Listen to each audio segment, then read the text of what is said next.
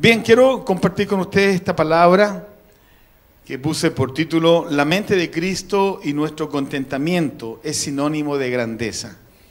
¿Por qué hemos dado tanto el tema del contentamiento? Porque yo creo que después de vivir lo que vivimos como pandemia, después de experimentar todo lo que experimentamos, sin duda alguna necesitamos caminar a ese contentamiento. Y no solamente por lo que vivimos, sino por lo que viene también. Hay un futuro bien complejo, muchas uh, opiniones técnicas, muchos economistas, muchos eh, políticos hablando de, de, izquierda, de derecha y todas diciendo qué va a pasar. Más nosotros estamos bajo la mano del Señor, ¿verdad? Estamos protegidos por Él.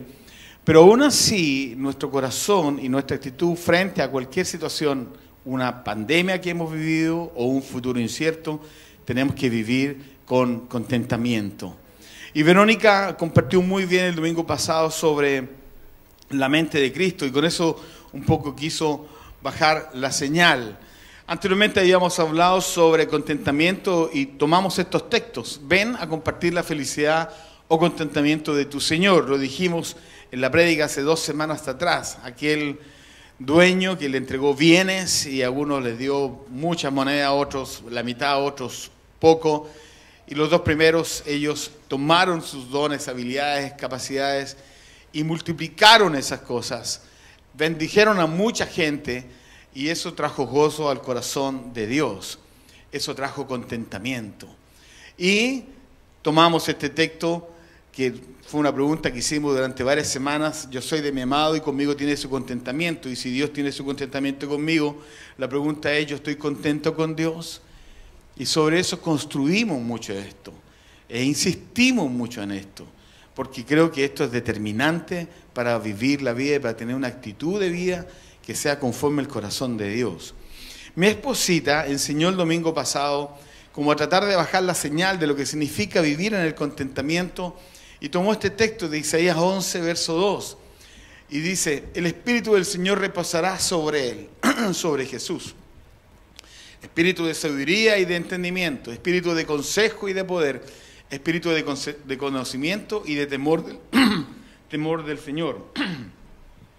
y sobre esto hablamos de estos aspectos, ¿verdad? Que nosotros debiéramos tener y abrazar para andar en el contentamiento sabiduría, entendimiento, consejo, poder, conocimiento y temor del Señor. Así que familia, estamos instruyendo, entregando herramientas para caminar en ese contentamiento. Y Gladys tuvo una muy buena prédica este miércoles pasado hablando sobre el resonar, que a ella le quedó resonando varias cosas. E hizo un ejemplo muy práctico, con ruidos muy, muy no desagradables, pero disruptivos, y también con música muy suave. Y ella interpretó eso como lo suave, aquello que viene de Dios, que trae paz al corazón, que trae enseñanza, que trae entendimiento, y aquellas cosas disruptivas que nos dejan nerviosos, ahí alterados. Y ella hizo mención de eso, porque ella consideró que la palabra del domingo pasado, esa palabra dulce que trajo mi esposa, tenía que ver con paz, con, con, tranquilidad, con sanidad, con alivio, con descanso, con confianza. Y para eso teníamos que caminar en estos, en estos aspectos del carácter de Jesús, en sabiduría, entendimiento, consejo, poder, conocimiento y temor del Señor. Yo en virtud de eso consideré que era oportuno enseñar sobre esto, sobre la mente de Cristo y nuestro contentamiento, contentamiento y que eso es sinónimo de grandeza. Y hay tres textos que quiero leer contigo. Primero, Lucas 22 en adelante dice, Jesús salió de la ciudad y como de costumbre se dirigió al monte de los olivos y sus discípulos le siguieron. Cuando llegaron al lugar les dijo, oren para que no caigan en tentación. Entonces se separó de ellos a una buena distancia, se arrodilló y empezó a orar. Y dijo, Padre, si quieres, no me hagas beber este trago amargo, pero no se cumpla mi voluntad sino la tuya. Entonces se le apareció un ángel del cielo para fortalecerlo. Pero como estaba angustiado, se puso a orar con más fervor y su sudor era como gotas de sangre que caían a tierra. Cuando terminó de orar y volvió a los discípulos, los encontró dormidos, agotados por la tristeza. ¿Por qué están durmiendo? Les exhortó. Levántense y oren para que no caigan en tentación. Existen, queridos, los grandes y los agrandados.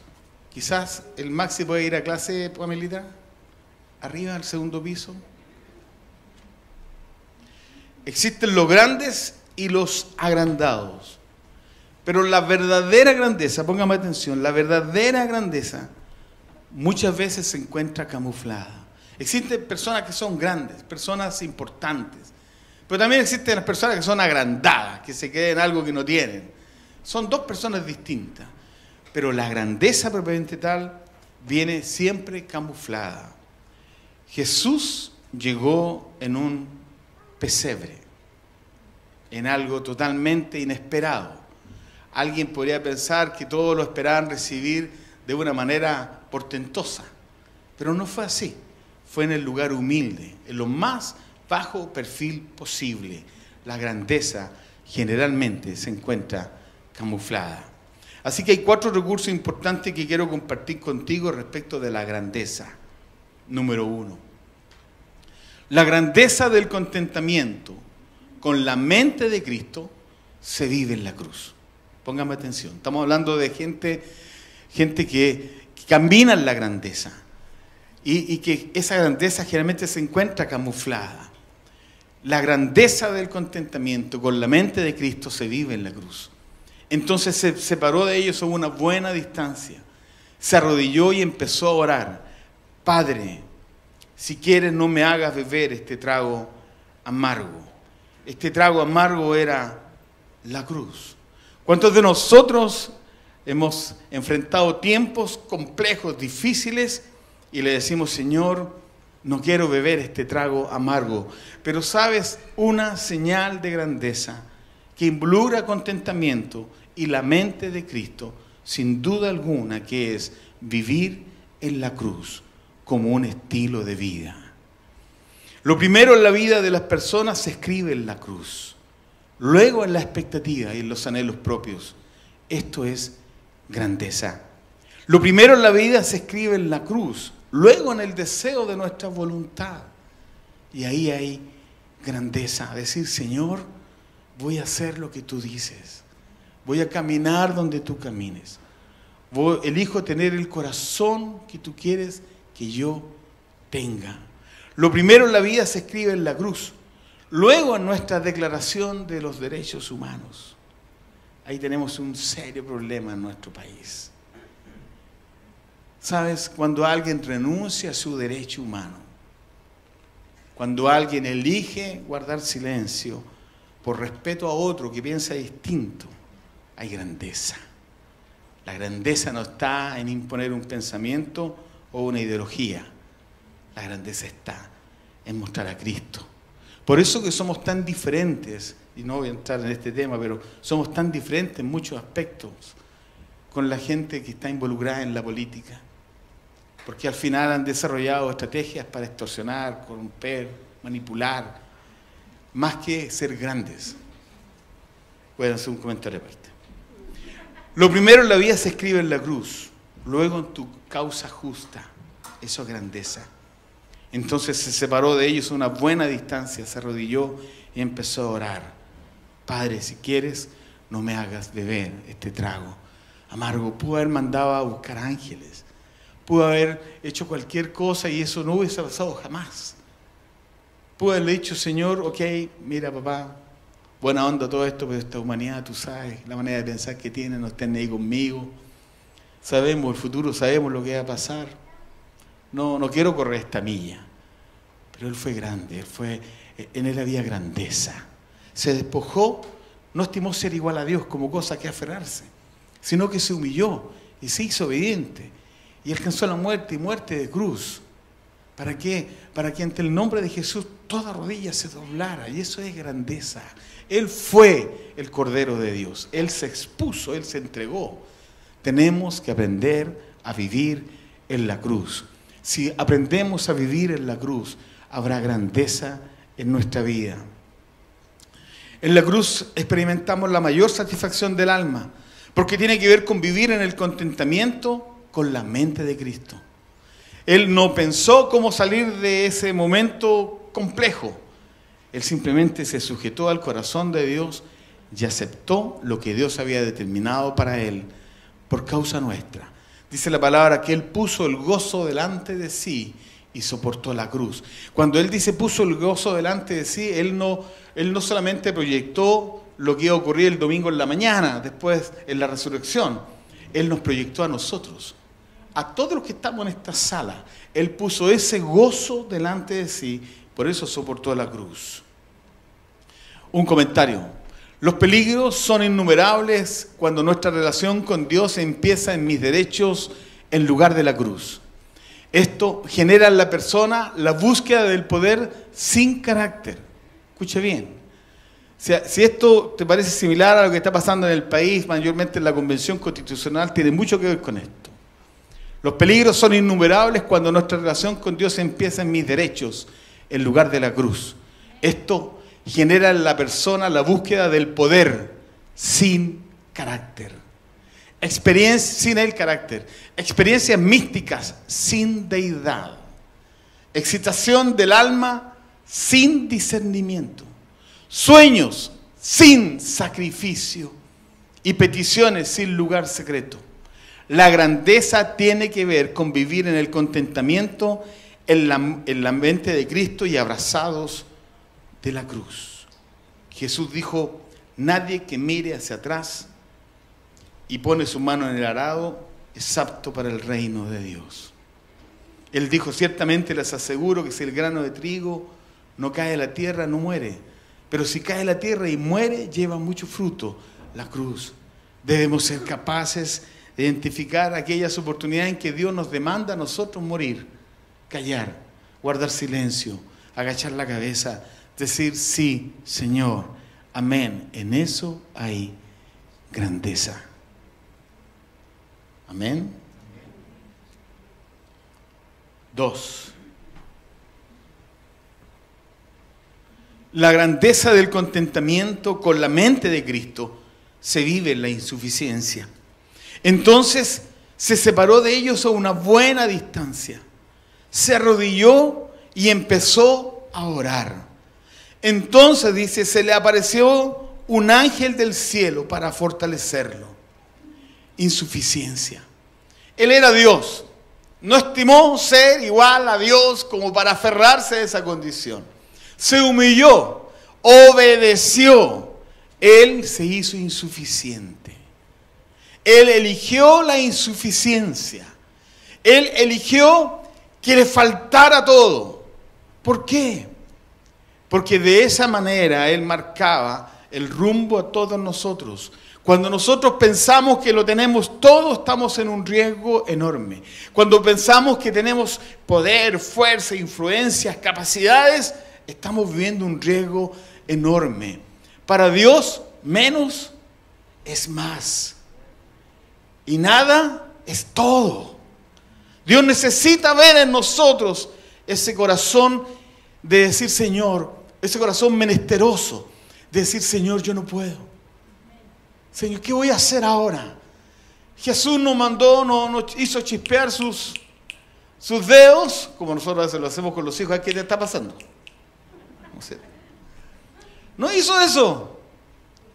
Dice que se arrodilló y empezó a orar. Y entonces se le aparecieron un ángel del cielo para fortalecerlo. La grandeza del contentamiento camina en nuestra insuficiencia. Póngame atención. La grandeza del contentamiento camina en nuestra insuficiencia. Nuestra grandeza se evidencia en el contentamiento en tiempos de insuficiencia. Cuando nos falta, no cuando nos sobra. Jesús arrodilla, ora, llora, clama, siente miedo, está angustiado, pero su insuficiencia capturó el corazón del Padre. Se le aparecieron ángeles para fortalecerlo. En medio del dolor, en medio de la insuficiencia, en medio de sus incapacidad, aunque las capacidades las tenía de sobra, pero Él elige vivir ese momento para marcarnos una ruta a nosotros, para decirnos, esta es mi manera de pensar, aquí está la mente de Cristo. La cruz fue para Él su, su vida, su norte, para allá caminó hasta que llegó ese instante en que fue inmolado en una cruz Así, de la misma manera, antes de eso, Él manifestó su insuficiencia. Él explica su insuficiencia. Y nosotros debemos aprender a caminar en esta insuficiencia. Porque llegar a pensar que de todo, que lo tenemos todo, que depende de mí, no es así. Jesús es Dios, pero eligió la insuficiencia de la humanidad. Jesús es Dios, pero se hizo hombre insuficiente. Jesús es Dios, pero caminó sin la suficiencia de su condición de ser Dios. Jesús es Dios, pero humilla su carne para depender del Padre. Jesús, el más grande de los hijos de los hombres. En él había grandeza. Él pudo haber dicho, se acabó esta historia, llegamos hasta acá nomás, Señor, por y cuenta nueva, busquemos otra alternativa, hagamos para atrás la película y retomemos la humanidad o la creación del ser humano, el desarrollo de la sociedad desde otro punto de vista, pero no de este. Pero no dice eso. Se arrodilla, se humilla, ora, llora, suda gotas de sangre. Y en ese momento ángeles vienen a fortalecerlo. En nuestra insuficiencia, Dios sale a nuestro encuentro y nos socorre. Amén o no amén. Jesús es Dios y para Él menos, menor es mejor y nada es lo máximo. Dios aparece cuando ya no hay esperanza. Él usó vientres estériles para llevar a cabo sus promesas. Sara, Rebeca y Raquel. El trabajo de Dios siempre ha sido llevado a cabo por los pequeños, por los débiles y desapercibidos. Hombres y mujeres que entendieron que en la insuficiencia estaba su fortaleza. David frente a Goliat un mozalbete, un muchacho de 17 años, pastor de ovejas peleando con un gigante de 3 metros de altura. Gedeón solo ahí en ese galpón, cansado de los amalecitas, que lo único que hacían era robarle todo lo que él producía. Dios lo levantó con 300 soldados. En su insuficiencia Gedeón fue usado. Dios esperará hasta que tus sueños, nuestros sueños, estén ahí en una condición de insuficiencia donde no tengamos alternativa, donde no le podamos echar nada en lo humano, ahí vendrá la provisión del Señor. Amén. La clave de la grandeza del contentamiento con la mente de Cristo es la insuficiencia. Esa es la mejor plataforma. Lo menos de mí equivale a más de Él nada de mí equivale todo de Él. Número tres, la grandeza del contentamiento con la mente de Cristo se vive en la oración laboriosa de cada día. Jesús salió de la ciudad y como de costumbre se dirigió al monte de los olivos y sus discípulos le siguieron. Cuando llegaron al lugar, se separó de ellos a una buena distancia, se arrodilló y empezó a orar, pero como estaba angustiado, se puso a orar con más fervor. A ver, ¿a quién le ha pasado esto cuando está angustiado más hora o cuando está angustiado menos hora? Menos. Y la instrucción es cuando estés angustiado, cuando más tienes que orar. La grandeza se encuentra camuflada en una vida de oración laboriosa. La grandeza, póngame atención, la grandeza se encuentra camuflada en una vida de oración laboriosa. Jesús insistió en la oración más que en ningún otro requerimiento, sobre todo cuando se, se trata de tiempos de dificultad cuando terminó de orar y volvió a los discípulos, los encontró dormidos, agotados por la tristeza. Estaban angustiados, entristecidos, desanimados, estaban agotados por la tristeza. ¿Por qué están durmiendo? Los exhortó. Levántense y oren para que no caigan en tentación. Y interesante eso, ¿ah? porque alguien podría decir, pero ¿en qué contexto la tentación? Bueno, la tentación de querer buscar placer en algo distinto. La tentación de querer abandonar la causa, la tentación de querer entregar y vender a Jesús por 30 monedas, la tentación de querer buscar otra forma de sentirse bien. Y cuando estamos bajo presión, cuando hay angustia, cuando estamos complicados, buscamos la manera de sentirnos bien, experimentar placer, porque emocionalmente nos sentimos devastados. Y por eso el alcohol, la droga, la pornografía y todas esas cosas son una puerta abierta para aquellos que están angustiados, porque quieren experimentar algo que sea grato para ellos. Esto es una clase de psicología breve. Pero suele suceder. Entonces dice, oren para que no caigan en tentación. ¿Se refiere a eso? Jesús subió al monte a orar aparte y subiendo al, mar, al, monte se sentó a orar. Tomó a los discípulos aparte y los llevó a un monte a orar. En aquel tiempo fue a un monte a orar. Tomó a Pedro y subió al monte a orar. Lucas 21, 37 dice, de día Jesús enseñaba en el templo, pero salía a pasar la noche en el monte llamado de los olivos y toda la gente madrugaba para ir al templo a oírlo. Solía pasar la noche en el monte orando. Y este es un temazo para nosotros. ¿Cuánto oramos? Hay grandeza cuando invertimos tiempo orando. Hay grandeza cuando nos, disponemos a pasar un buen momento en intimidad con Dios orando. Ahí hay grandeza. Y eso solamente lo ve Dios. Ahí en el lugar secreto, donde nadie me ve. Pero la palabra dice que si nos ve en el lugar secreto, en el público, nos va a recompensar. Cuando alguien, en alguien podemos advertir grandeza, es porque seguramente en este hombre o en esta mujer hay mucho de Dios en la intimidad.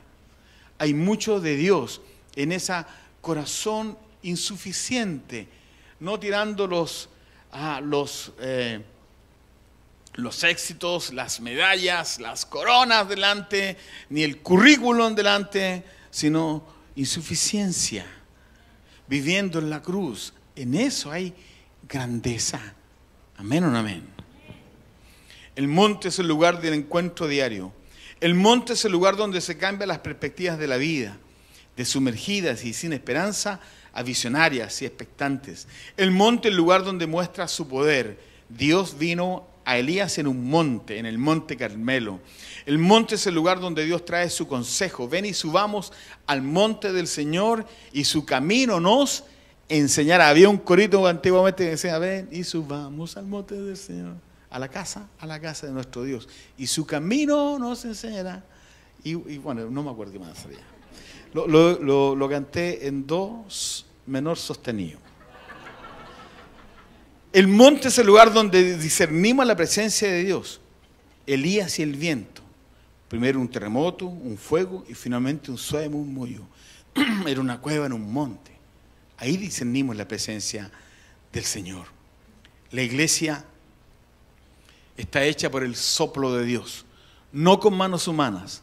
Por lo tanto, la iglesia de Jesucristo nunca podrá ser establecida ni extendida con el sudor y el trabajo del hombre natural tiene que ser hecha a la luz de nuestra oración laboriosa. Es en ese trabajo silencioso, en el Espíritu, en esa oración intercesora, donde la grandeza irrumpe con el contentamiento y la mente de Cristo. Esto es grandeza. Amén. ¿Están acá familia o no? Cuarto. La grandeza del contentamiento con la mente de Cristo se vive en una vida de obediencia. Padre, si quieres, no me hagas beber este trago amargo, pero no se cumpla mi voluntad, sino la tuya. Escúcheme bien, la grandeza del contentamiento con la mente de Cristo se vive en una vida de oración, en una vida de obediencia, en una vida en la cruz en una vida en la insuficiencia. En este caso, la obediencia. ¿Cuánto nos cuesta obedecer? Nos ha costado. Sufrimos muchas veces, más de lo que pudiésemos sufrir, porque no escuchamos y no obedecemos. Porque Dios hablándonos de distintas maneras, no queremos hacer lo que Él quiere que hagamos. Cuando hablamos de grandeza, queridos, estamos hablando de un corazón sujeto, disponible, maleable por Dios. Un corazón dúctil, estar en las manos del alfarero, permitirnos ser moldeados por Dios una y otra vez, una y otra vez, una y otra vez, hasta que lleguemos a la estatura de plenitud, a la de la plenitud de Jesucristo, a un varón conforme. Y eso será cuando nos graduemos. Pero mientras tanto estamos en la rueda. La grandeza se encuentra camuflada en el contentamiento con la mente de Cristo, en una vida de obediencia. La obediencia es la llave que abre todas las puertas. Esto es grandeza. La obediencia es la señal más potente para robarle una sonrisa a Dios. Esto es grandeza. La obediencia se divorcia de las emociones para abrir un camino de bendición en las convicciones. Repito, la obediencia se divorcia de las emociones para abrir un camino de bendición en las convicciones, porque uno obedece por convicción, no por emoción. La obediencia siempre buscará privilegiar la promesa por sobre nuestro egoísmo y nuestra avaricia. Padre, si quieres, no me hagas beber este trago amargo, pero no se cumpla mi voluntad, sino tu voluntad, como cantábamos un rato atrás. Jesús sabía lo que venía sobre él. Jesús sabía lo terrible, doloroso y angustiante de las horas que venían sobre él. Grandes gotas de sangre sudó.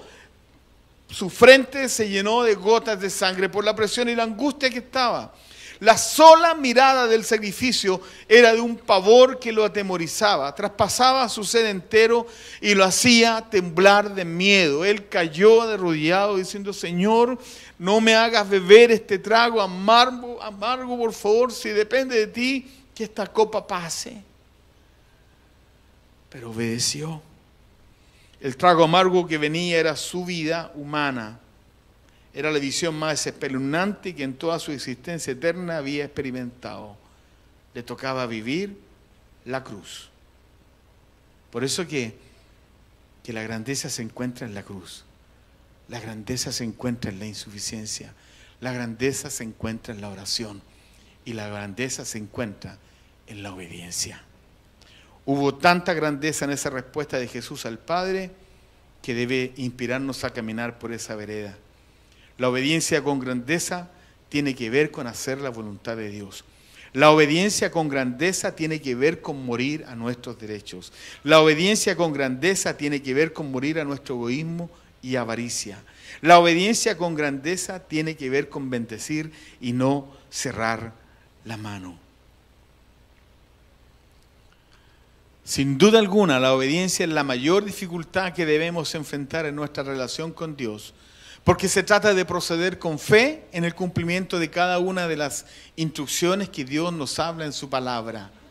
En esta obediencia sin duda habrá grandeza, porque no se trata de mi vida, sino de Cristo en mí como la esperanza de gloria. Esto provocará un mutuo contentamiento entre Dios y nosotros para toda la vida. escuche bien esto no se trata de mí, póngame atención, sino que se trata de Cristo en mí, la esperanza de gloria. Porque los que estamos en este lugar hemos recibido de Dios esa gracia, ese don, ese encargo, esa bondad de Él de haber cruzado su camino con el nuestro. Pero los que están allá afuera en las calles no tienen ese privilegio. Por eso nosotros somos la esperanza de gloria, porque la grandeza en la oración, la grandeza en la vida en la cruz, la grandeza en la insuficiencia, la grandeza en la obediencia, nos hace ser la esperanza de gloria para esta sociedad. Nos hace ser la única esperanza que tienen las personas que caminan por las calles de Puerto Montt y en el mundo entero. Pero para poder caminar con ellos y bendecirlos, debemos andar en esa grandeza. Y esa grandeza la única que lo otorga es la cruz. La cruz te otorga la grandeza, la cruz te otorga el, beneplácito de Dios, la alegría de su corazón al vernos caminar. La grandeza la encontramos ahí, como la encontramos en nuestras oraciones, en nuestra insuficiencia y en nuestra obediencia. Voy terminando. A los agrandados les gusta ser vistos. Los grandes generalmente se encuentran camuflados. Y aquellos que viven en el contentamiento con la mente de Cristo, la grandeza de su vida está en la cruz como estilo de vida, donde su vida de insuficiencia es su riqueza. Sus íntimas e, e intensas oraciones mueven la mano de Dios y su obediencia como una ofrenda de amor permite que las promesas del Altísimo sean vigentes y perfectamente aplicables en estos tiempos. La grandeza de la mente de Cristo en nosotros se encuentra camuflada. Esto les servirá de señal. Encontrarán a un niño envuelto en pañales y acostado en un pesebre. La grandeza se encuentra camuflada en medio de nuestro caminar. Quiero invitar a los músicos que puedan pasar. Jesús vivió en la cruz la grandeza de su corazón. Él dijo, el que no toma su cruz y me sigue no es digno de mí. Jesús caminó en la insuficiencia, siendo rico, se hizo pobre, para que en su riqueza nosotros, los empobrecidos, seamos enriquecidos. Jesús llevó una vida de oración. Jesús dijo, oren para que no caigan en tentación. Jesús llevó una vida de obediencia. No he venido, dijo, a hacer mi voluntad. He venido a hacer la voluntad del que me envió. Y esta es la voluntad del que me envió. Que yo no pierda a nadie, a ninguno. A ninguno.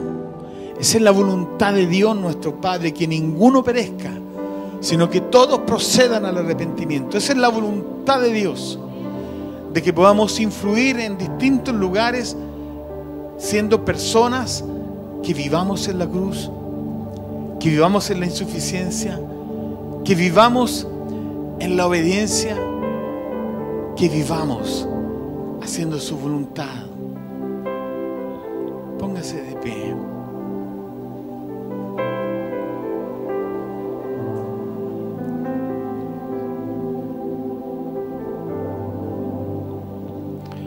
Señor, nosotros queremos en esta mañana tomar esta palabra. estamos, yo entiendo que tú estás marcando palabras derroteras para nosotros en este nuevo tiempo, en la humanidad, Señor, y particularmente en nuestras vidas.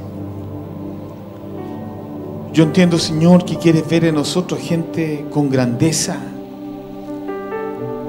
Gente que camine, Señor, en esa grandeza.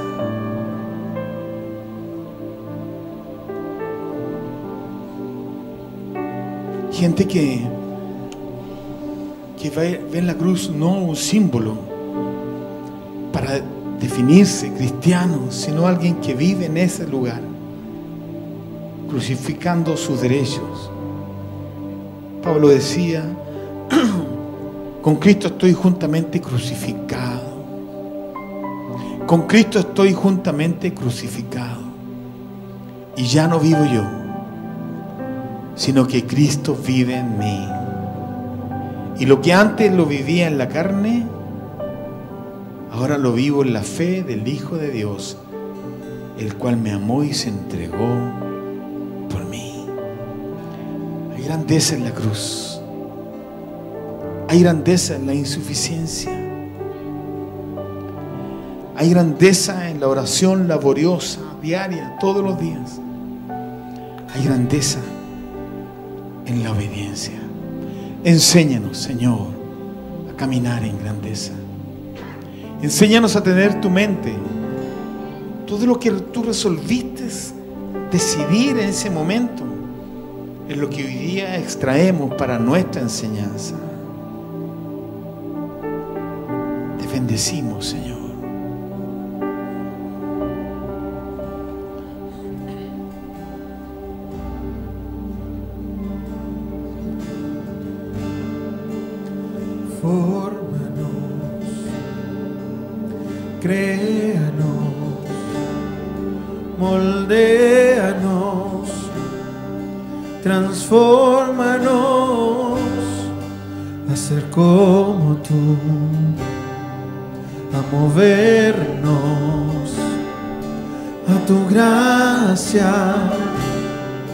Y tu compasión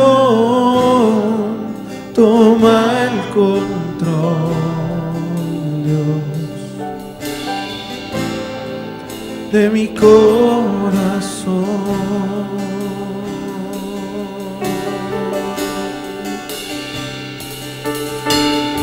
En nosotros,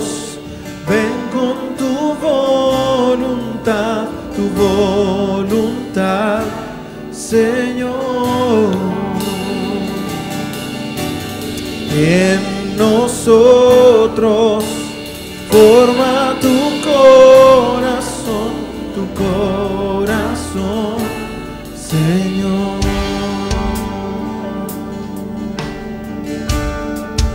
Ven, Señor Jesús. Guíanos, Ven, Señor. envíanos, libéranos al herido, al hambriento, al marginado, al cansado. Una vez más, muévenos, muévenos, guíanos, envíanos, libéranos al herido, al hambriento, al marginado y al cansado. Toma el control, Dios de mi corazón. Toma el control. Control, Dios,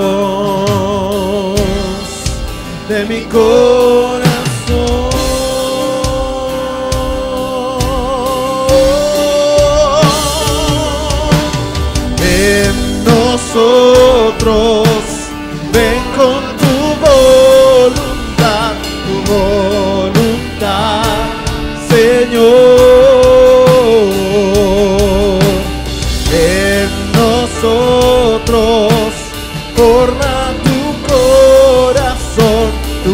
Corazón, Señor, Señor. En nosotros, ven con tu voluntad, tu voluntad,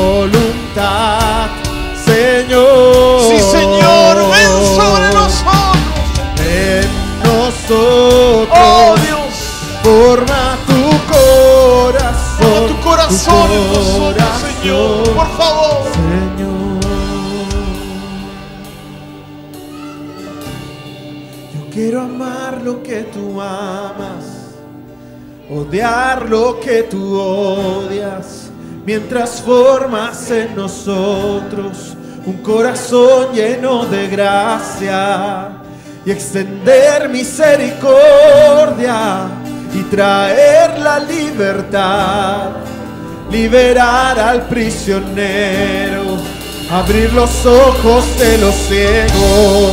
Yo quiero amar lo que tú amas, odiar lo que tú odias, mientras formas en nosotros un corazón lleno de gracia y extender misericordia y traer la libertad. Liberar al prisionero, abrir los ojos de los ciegos. Yo quiero amar lo que tú amas, Odiar lo que tú odias. que tú odias, mientras formas en nosotros Un corazón lleno de gracia. lleno de gracia. Oh, Señor, ayúdanos. Y extender misericordia. Oh, Espíritu Santo. traer la libertad. Tócanos, Señor, esta mañana. Liberar al Tócanos, Señor, esta mañana. Abrir los Oh, ojos de los cielos. Gracia triunfa sobre el Oh, juicio. Señor, gracia triunfa sobre el juicio triunfa sobre el juicio. Gracia triunfa sobre el juicio. Oh, oh Dios santo. Gracia triunfa sobre el juicio. Venga a nosotros tu reino. Venga a nosotros tu Gracia reino. Triunfa sobre el juicio. Decimos sí, Señor.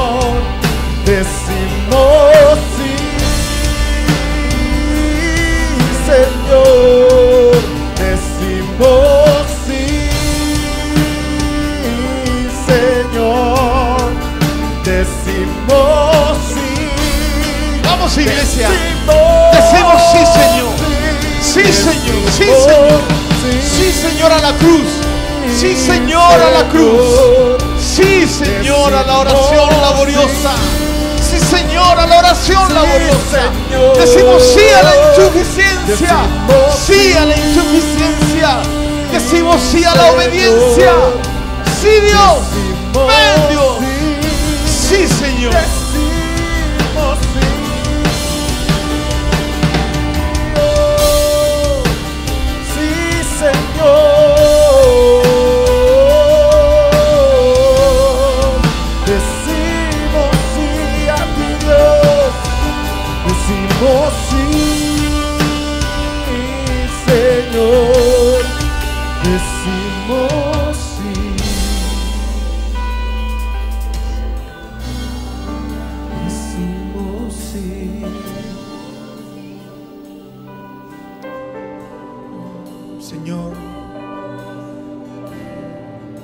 Grandeza viene camuflada.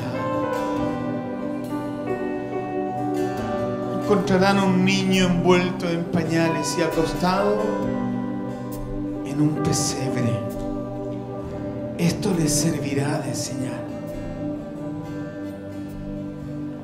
Ayúdanos a vivir, Señor, en esa grandeza camuflada de una vida en la cruz, en un camino de insuficiencia, en una vida de oración laboriosa, en una vida de obediencia, Señor. En todo ello hay contentamiento con grandeza en tu mente, Jesús. Ayúdanos cambiar nuestra mente. Pon en nosotros tu mente, Jesús, la mente de Cristo, para caminar en la cruz, en la insuficiencia, en la oración laboriosa, en la obediencia. Decimos sí. Señor, decimos sí.